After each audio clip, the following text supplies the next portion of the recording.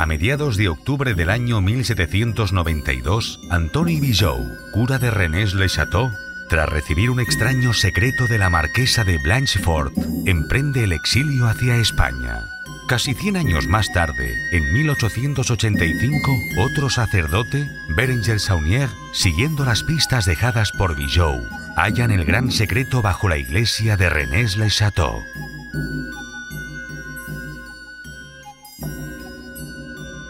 Ya a la venta en editorialcirculorrojo.com.